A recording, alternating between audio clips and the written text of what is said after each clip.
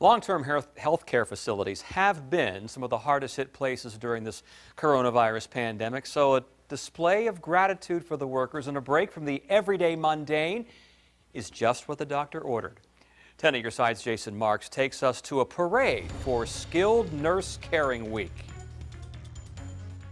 It's been weeks since nursing home residents have been able to get together with their families. Obviously tough.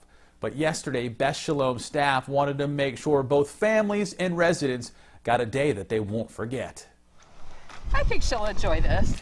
The parking lot of College Park Elementary in Virginia Beach. She was always the one that liked to go over the top. Looks as if the big homecoming parade is only minutes away. We're making it up as we go along.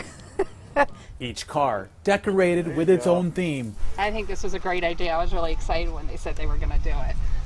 Yeah, I want to do that getting ready, not for the big game. It's still tough to not be able to see them all the time. But for an emotional drive-by. We're excited to see her and just uh, wave and, and uh, blow kisses.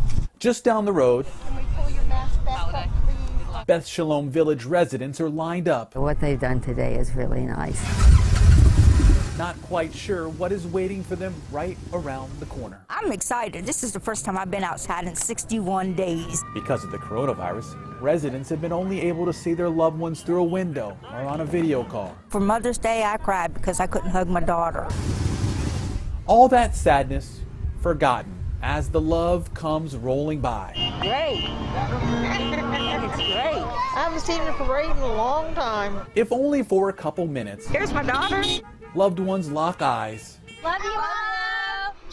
Love you all. I love you. Hi, Cassius. It's a ray of light on what has been a dark cloud hanging overhead. This was so fun. I got like teary eyed. It was so great. The hope is that this will all end very soon, but what won't is the memory of this day.